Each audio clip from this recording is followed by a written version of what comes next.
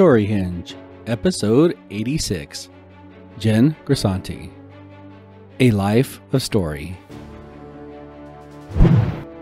The best way to be a strong storyteller is to be present when your own is happening.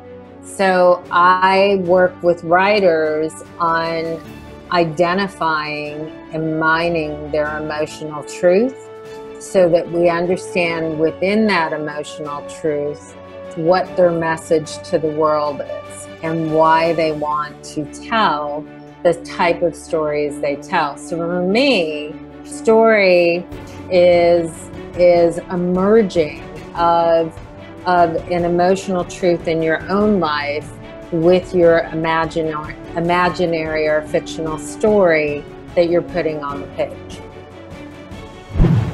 Welcome to Story Hinge. At Storyhinge, we explore foundational ideas and beliefs. We believe everyone has a beautiful story to grow. Now, here's your host, Jason Vidaurri. Jen Grisanti's career shifted in 1992. The story begins in ways that yours might by working with someone who truly believed in her. She assisted and was mentored by Aaron Spelling, one of the greatest executives and most prolific producers in the business. She learned early on how to develop a story and make a script the best it could be before it hit the air. She worked with executive producers, showrunners, and staff of over 15 primetime shows. She had the unique opportunity to give script notes on a daily basis and see them implemented weekly.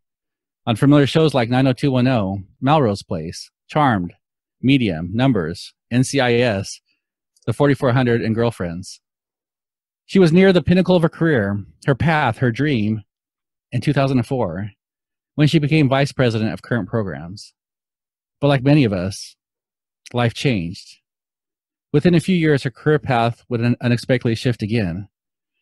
And in January 2008, Jen launched Jen Grisanti Consultancy, a highly successful consulting firm dedicated to helping talented writers break into the industry. Today, Jen is an international speaker, an acclaimed story slash career consultant, where she has helped hundreds of writers shape their material, hone their pitches, and focus their careers. She's also the author of multiple books, including one we'll talk about today called Change Your Story, Change Your Life, A Path to Your Success. Jen, welcome to Story Hinge. Excellent. Thank you so much. I appreciate that introduction.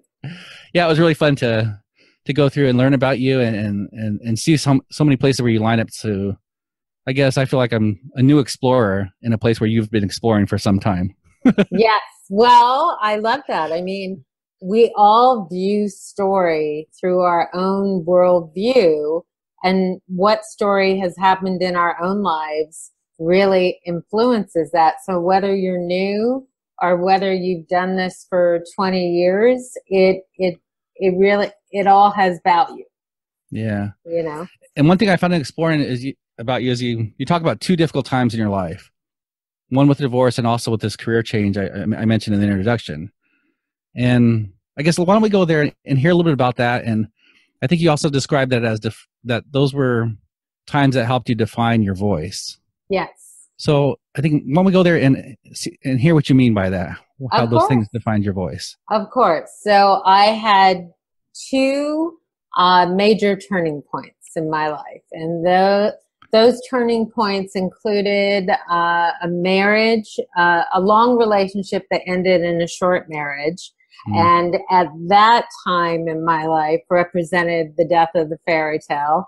Uh, so my life shifted then. And then I essentially married my career for the next uh, 15 years and and through my all into uh, getting where I wanted to be as an executive and covering uh, multiple primetime shows, as you mentioned, and working for two sister companies. And that shifted when, after two and a half years with the new company, which was the sister company to Spelling Television Inc., I uh, got in a heated discussion, mm-hmm. let's call it. I not got in, I, I was confronted with a heated discussion and was forced to make a choice that in the moment I knew if I aligned my choice with my values and did what I thought needed to be done, then uh, I could be ending my career. And I knew that. And I was cognizant of that. And I made the choice because my my feeling in the moment was if my company doesn't back me, I'm not supposed to be here. So I made a choice, and two weeks later, I was told that my contract wasn't being picked up, and I had the good fortune of having several months left on my contract. So it, it, it actually was a blessing in my life. In the moment, it was devastating and mm. unexpected and abrupt because I had five shows and I had never been warned about anything. So I, you, you live under the illusion that your future is protected and secure if you put the work into it. And, yeah. and that thought process had to shift after things changed. So when you went through that, you know, you said you, you there was values that were underlying that that you you stuck to. So you kind of knew, at least had some sense that this might happen. Yes. But even even after you did that, was there times when you're like, ah, was that the right choice? Did I mess up? Did I? I think yes. I definitely think part of the process of it's interesting because in in my book change your story change your life um, as many of us go through major life turning points um, millions of people get divorced and millions of people lose their jobs. And mm-hmm. that's part of our life process. And how we respond to that is what makes the difference. And for me uh, part of my spiritual journey after the loss was really understanding my part in that outcome. And it really, I think that it was meant to happen by looking at the direction my life has gone in. Like, I, I think there is a forgiveness and an acceptance that that was meant to be part of my path because that led me to uh, do oddly what I had wanted to do in the first place before I became an executive.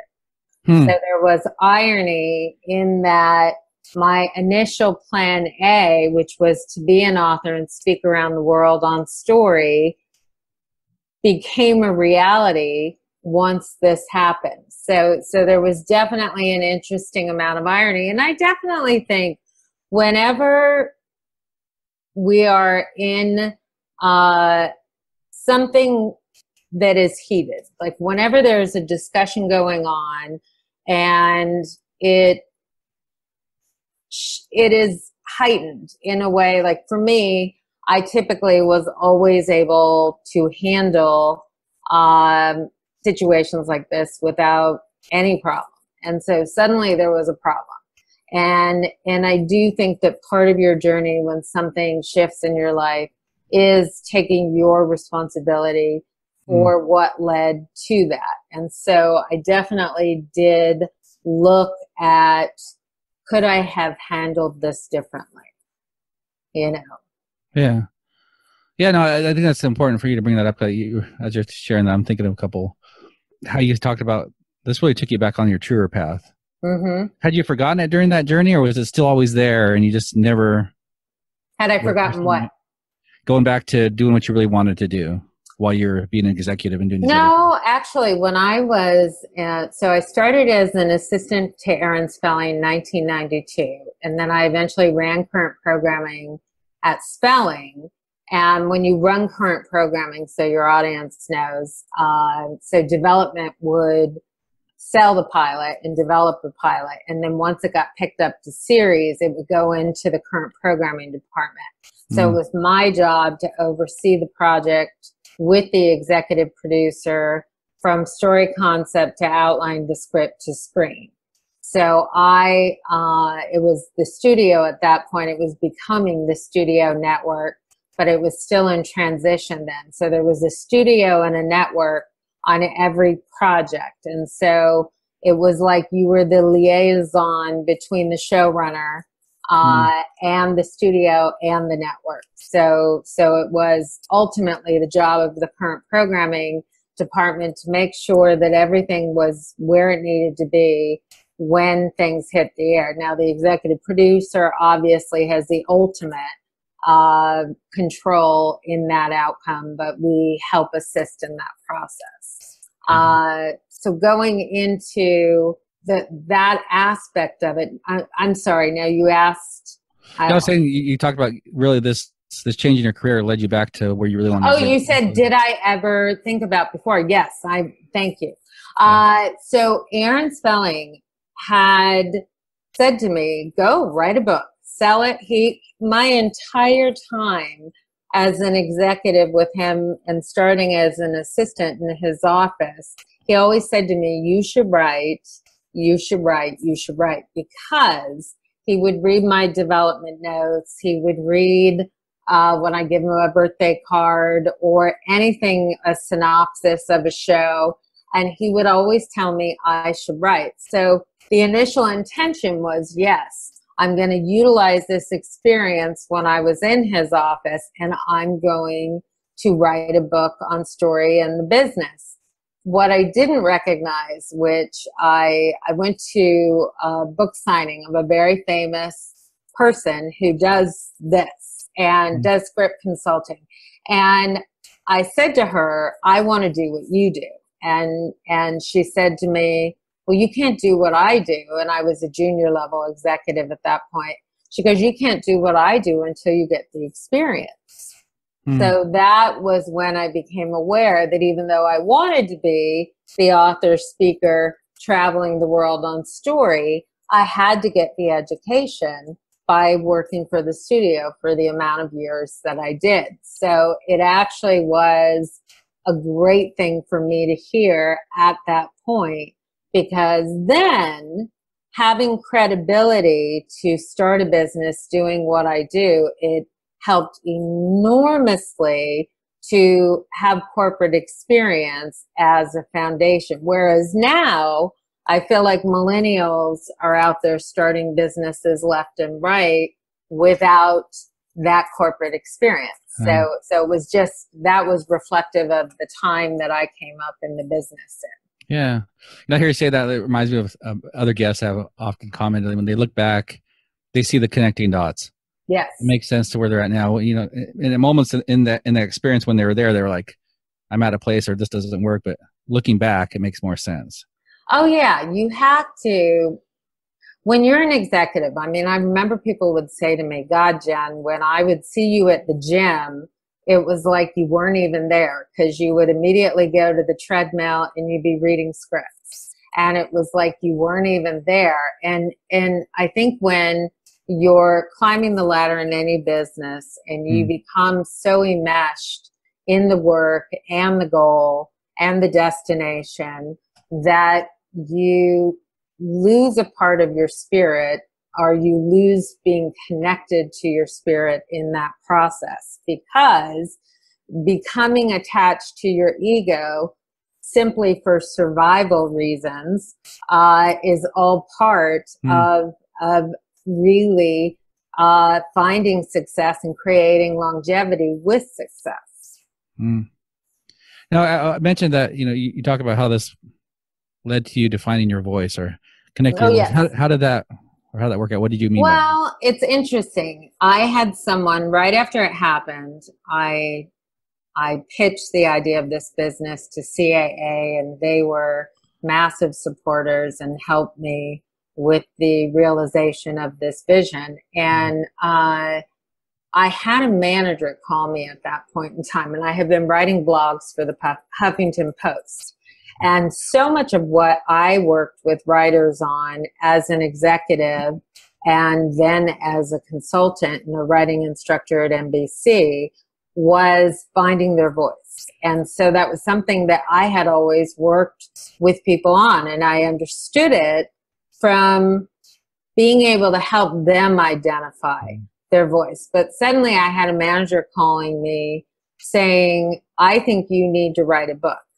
And I said, Really? I said, Why do you think I should write a book? And he said, Because I've read your blogs, I've heard your message, I hear your voice, and I know you have something to say. And I said, Oh, this is really interesting for me. I work with people all the time on identifying their voice.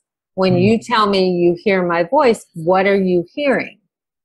And he said, I'm hearing the story of a woman who knows what it is to work very hard to achieve and accomplish, and then knows what it is to fall and redefine her path. Hmm. And he said, and I think millions of people need to hear that message. And, and so that led to me writing Change Your Story, Change Your Life. Wow.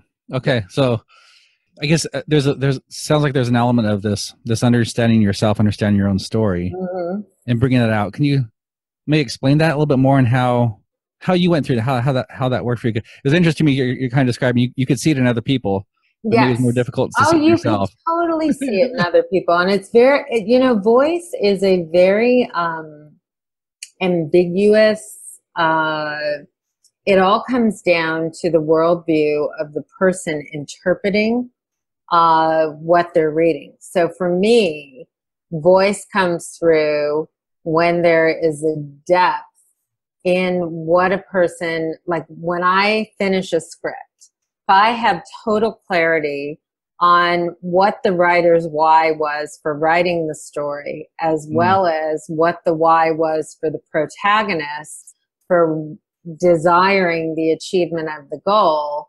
then I understand the voice. The voice is clear. They understood the concept. They knew what they wanted to say. Now that happens probably about 10% of the time. Hmm. I would say up until then, I think the, the biggest correlation I've discovered with somebody coming into their voice is if they've gone through a number of life turns and have had to really learn what it is to bring their life back in balance, then they have something to say to the world. And then uh, the clarity of their intention with the stories they tell is there, and the voice will get to a place where it can't be ignored, and that's when doors open. With the way you describe that makes me think of there's a strong elements of authenticity, of vulnerability Definitely. to get to, to get to that place. Oh, 100%. Like being vulnerable, we are at a time climate wise with everything going on with the Me Too movement where uh, we are seeing people in massive, powerful positions uh, being put into, forced into vulnerability and redemption for some and for others you know complete destruction and and and you only hope and pray that there's an internal triumph that they go through and, and really trying to understand where they went wrong in that process. But I definitely feel that, you know, when I when I look at everything going on in the world, authenticity, vulnerability, honesty, rawness, like I always look for writers who are willing to go places that you would never imagine going. Like mm. I remember watching an episode, the finale of uh, The Sopranos. And I remember when Carmela and Tony got in such a heated fight with their marriage and things were said that you would never say, but you mm. would think mm. but you would never say. But that writer had the gift to really take us in to that moment and make us experience it on a level that became real uh, and authentic and and it in doing so you universally hit your audience where they go i see you you see me we are the same yeah how do you do that? I mean, how do you, if you're if you're not that that level to being able to put yourself out that that way?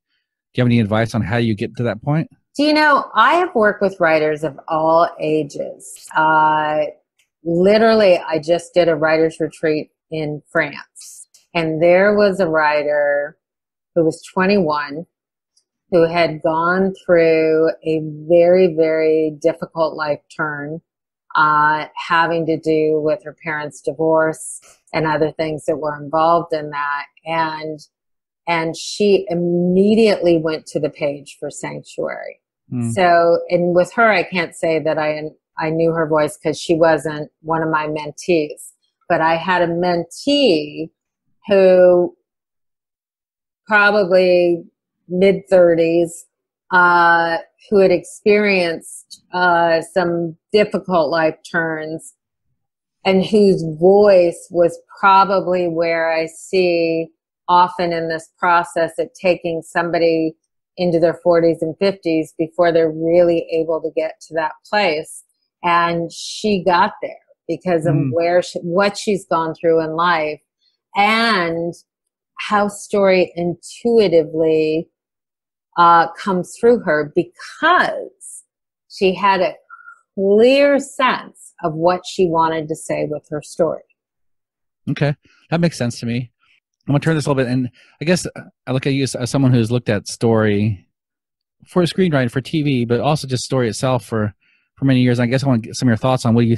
Part of it's when I say the word story, that has many meanings for different people. Oh, of course. So, maybe, so I want to understand what what story means to you and what you've learned about story in your in your journey.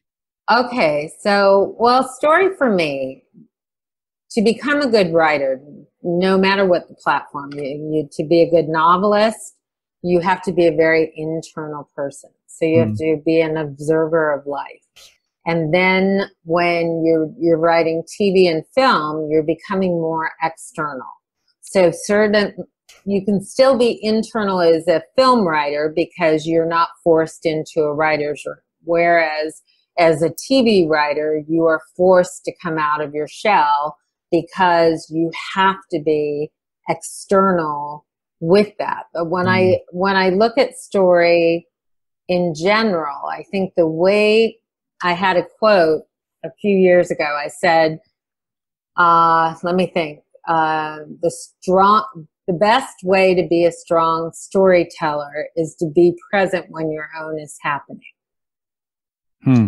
So I work with writers on identifying and mining their emotional truth so that we understand within that emotional truth what their message to the world is and why they want to tell the type of stories they tell. So for me, story is is emerging of of an emotional truth in your own life with your imaginary imaginary or fictional story that you're putting on the page. You know, as you, as you explain that, you remind me of. I think I think you're also a fan of Joseph Campbell and some of his. Oh yes, it's Huge. almost you're you're yeah. almost touching this place where it's almost you, you can't quite touch it completely. I mean, perhaps. Where it's this place yes. where I, I've experienced something, but there's something there, and I'm going to the edge of it. If I'm yes. really being fully honest, open, authentic, vulnerable, and that expression comes out through your work. Does that does that seem sound right, or how do you 100%. see that? like uh, art in expression comes from how we interpret what happens to us in our lives. So art and so so oddly, the more moments you've experienced that have turned your world upside down, the more all those lost moments you have, the more you have to say to the world because that means you've been exposed to vulnerability, to responsibility, to having to figure out do you want to fall victim to your fall or do you want to rise above it and be an active hero in your own story? And and the hero's journey is something we all face every day in our own stories. So it's so it it is really looking at our lives and how the sequence of story happens and then looking at comedic and dramatic structure and taking the emotional truth in the interesting moments and moving them into the structure for the platform that is the best platform to tell the story to hit the highest level of recognition with what you want to say. Okay. And so what I what is I guess looking at your own story, what has that done for you to dive deeply in that and then basically create yourself become the hero in your own story? I mean, are you rewriting it and and, and I want to say making up stuff or are you just re-examining what really is there?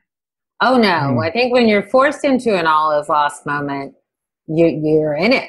I mean, mm. you you there is no making up. You you are in the fall. So you have to figure out what does my life look like? For me, part of the journey was who is Jen Grisanti if she's not the vice president of current programming?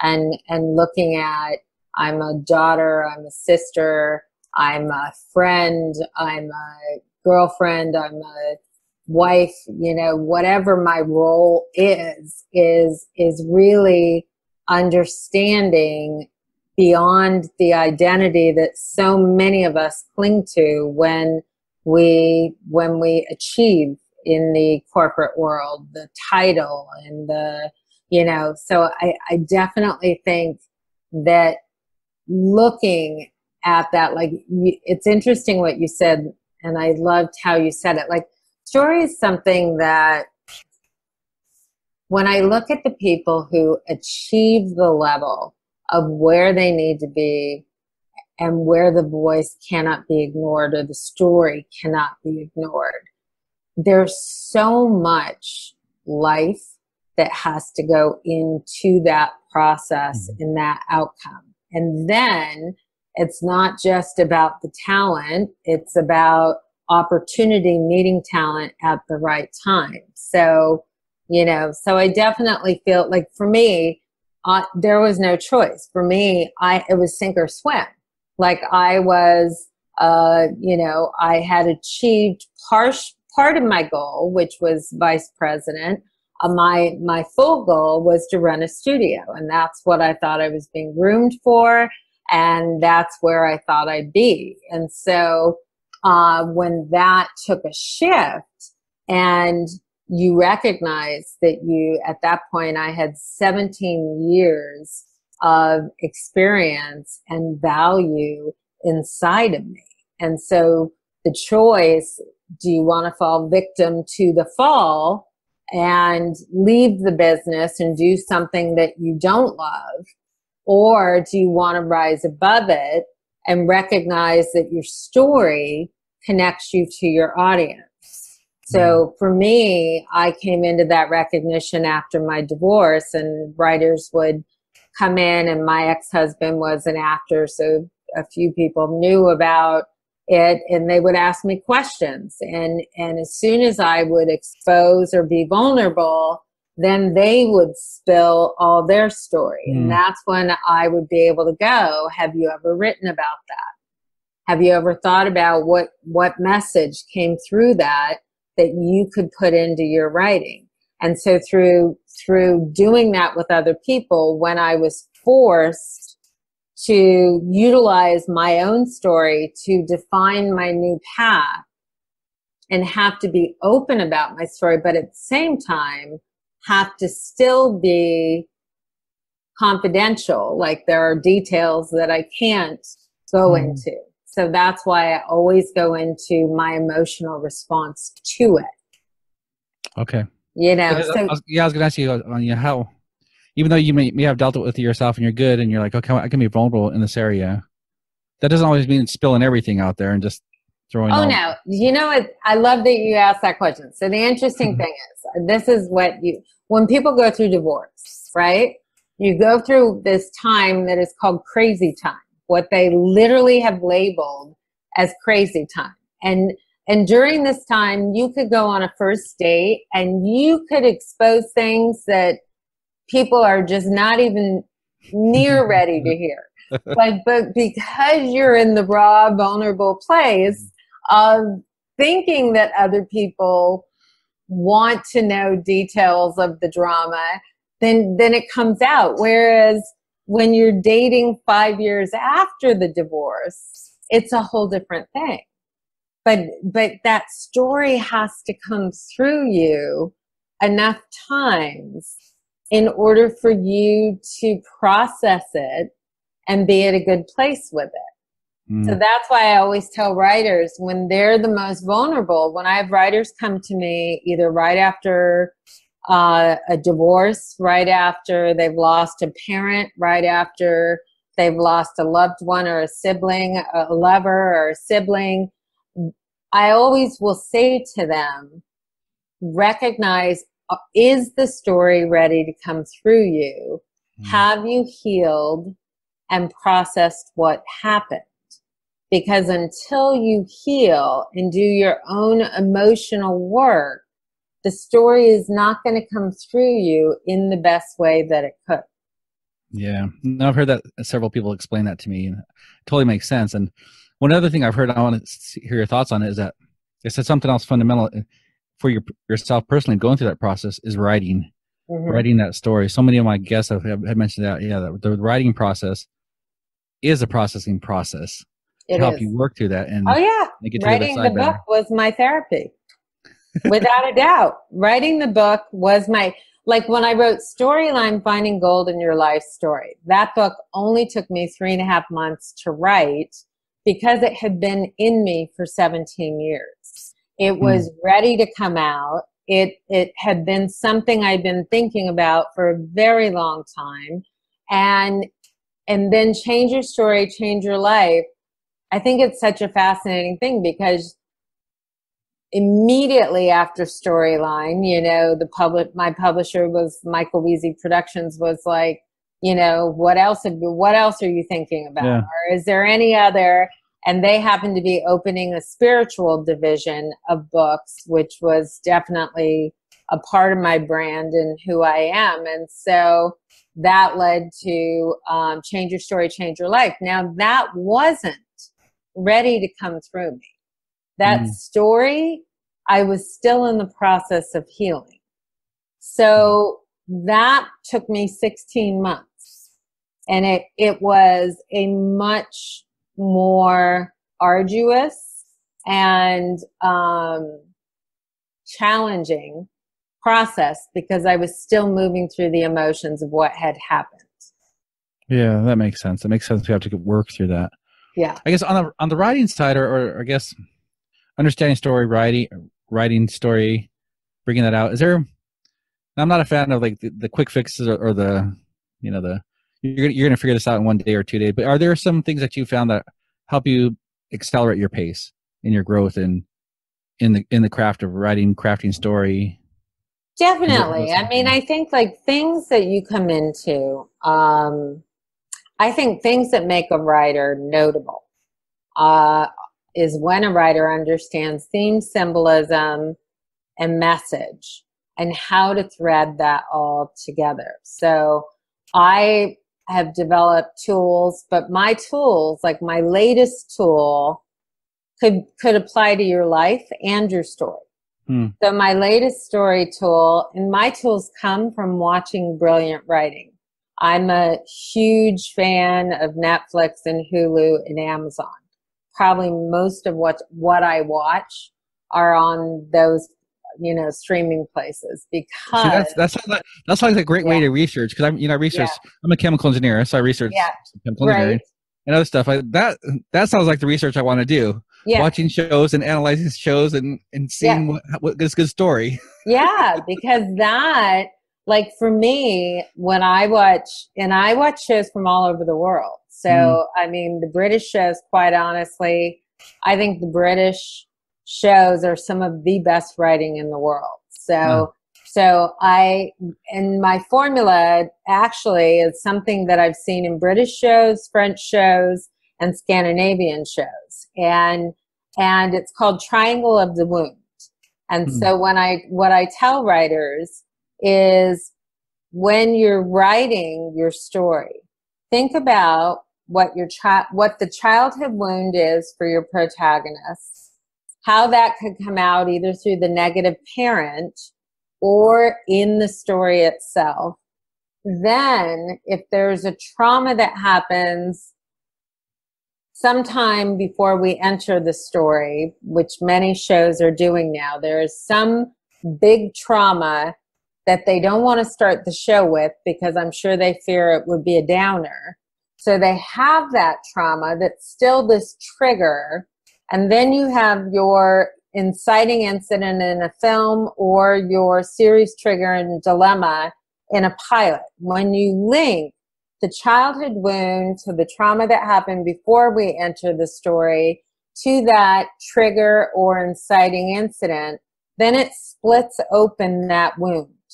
And then you hmm. have three fertile places to draw from with re- regards to the emotional response of the character to the story. Hmm.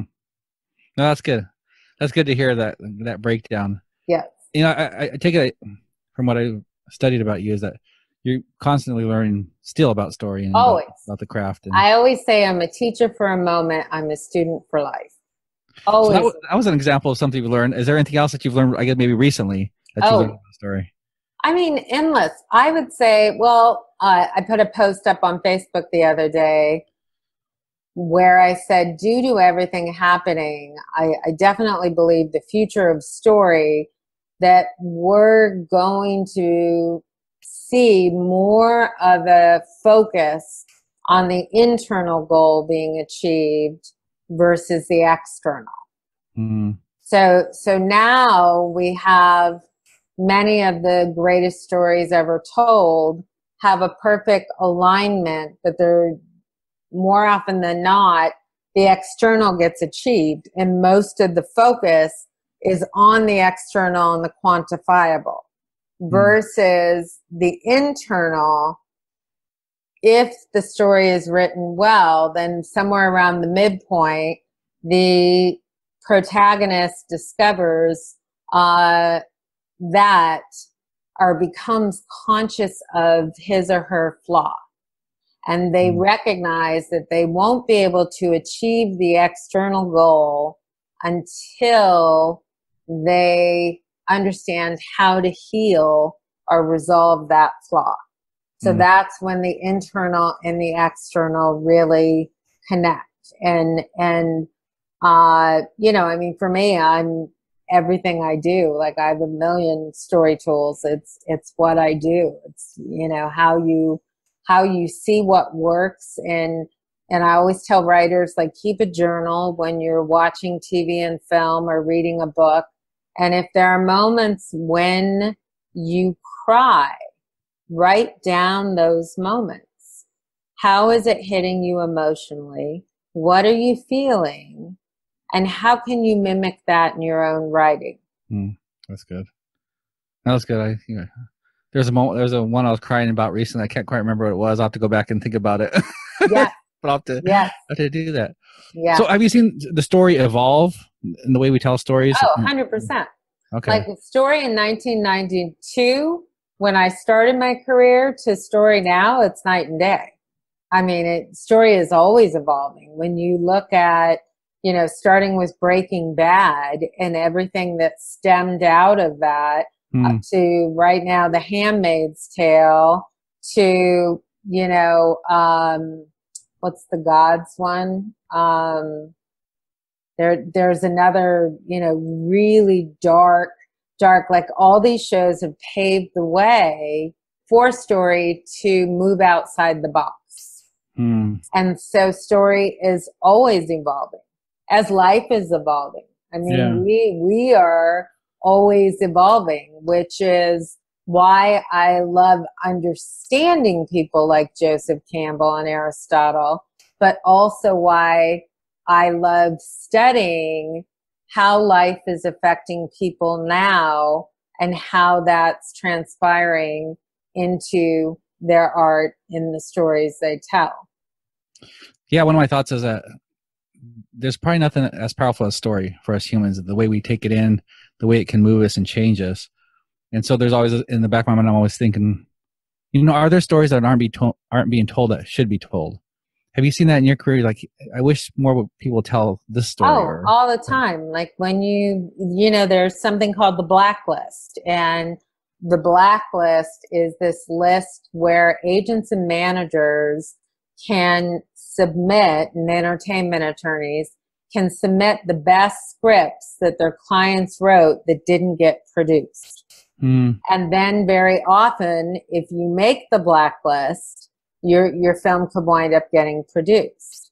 So, um, so I think, I I think the biggest uh, recognition that I made of Hollywood is they don't know either. Like they don't mm. know when story is definitively going to hit at the level that it does. It's rare. I would say the two shows that I did feel like a lot of people who knew the shows knew they were going to be a, a, big success, but still it's hit. We don't, we don't know for sure until we get the results. So until then, everybody's just throwing stuff out there and hoping that it will connect with an audience. And Modern Family and This Is Us, those are probably two of the shows where I would say Hollywood knew those shows were going to be a success. Where I would mm. say there was a chord that was hit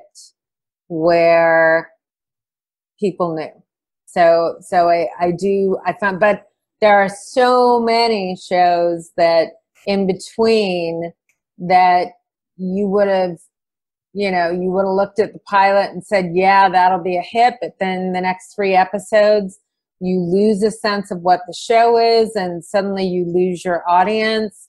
You know, mm. it, it is a very difficult thing to know in any story, have total clarity with what you're trying to say. And if you don't have clarity, certainly in the television world, you lose your audience in the first 10 minutes, first five minutes so, mm. so story is in a place where there is so much more pressure to bring your audience in immediately versus the slow, slow, slow build. Now, is that all? I was going to ask you, how has technology or the changes in technology changing the story?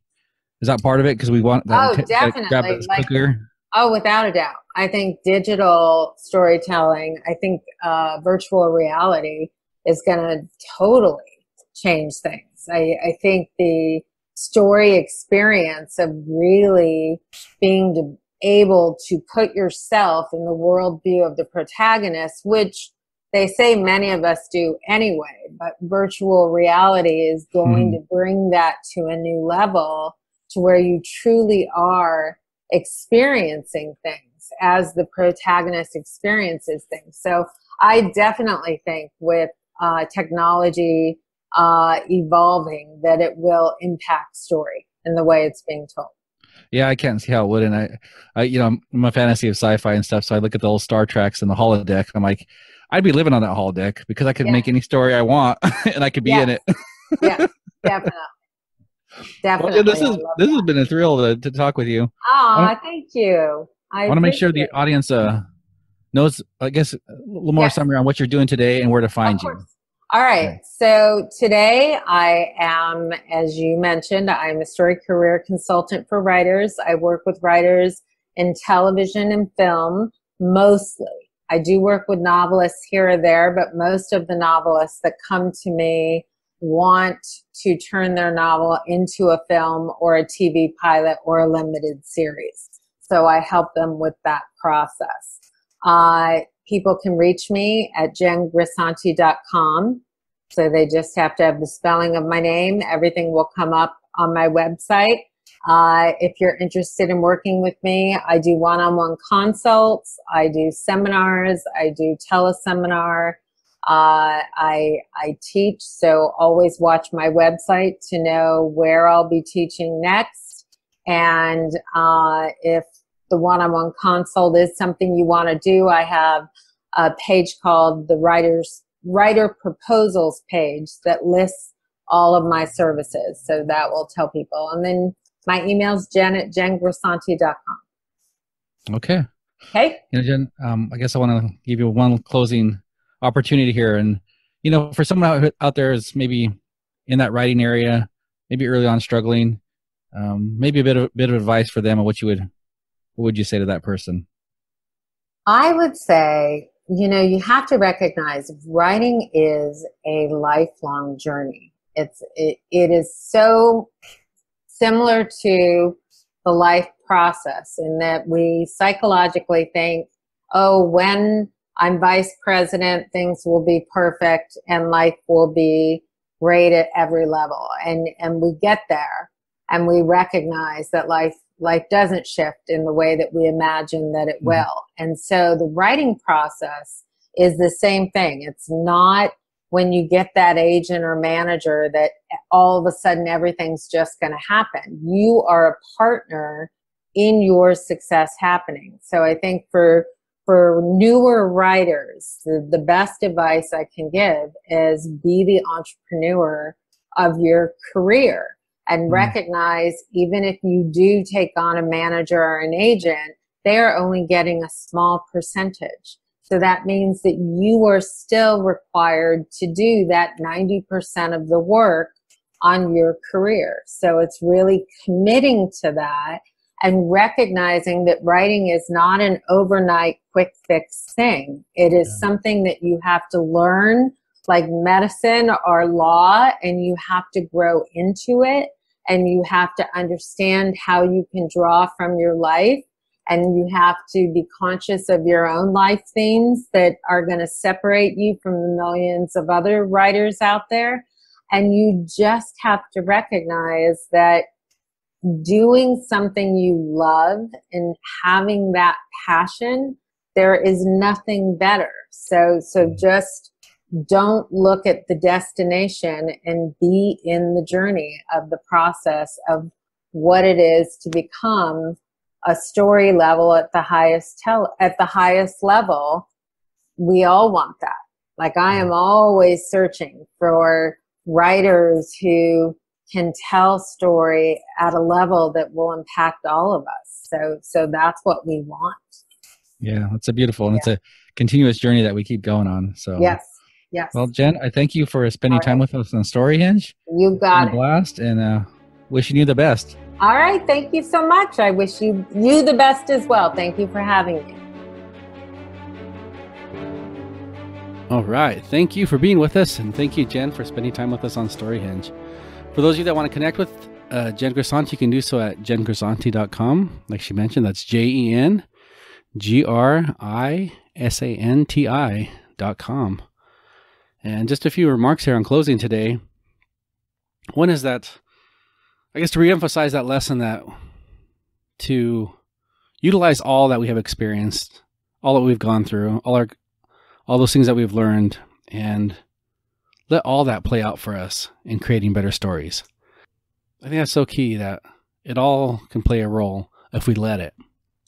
And also to be really good storytellers, we have to be present in our own lives and really observers of life is what I've gathered in that we are able to notice and be aware of life and all the little intricacies and be able to bring that out in our story creation.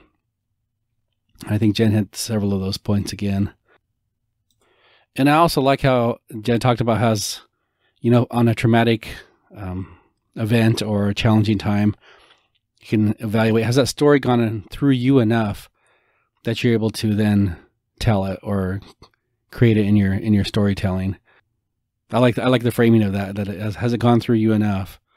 Um, hopefully not excessively to where you, or maybe maybe maybe part of it is that is getting through that and working through that. And if you need help and counseling for that to to get through some of those life's challenges, that's okay too.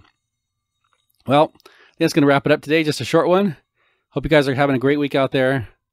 And again, I invite you to subscribe to the podcast and uh, share it with others. And also, and for those of you that want to dive into the story of the greatest influencers who have ever lived, check out 73 Mentors, where I'm co host with my brother on that one as well. You guys have a great week. We will catch you in a couple.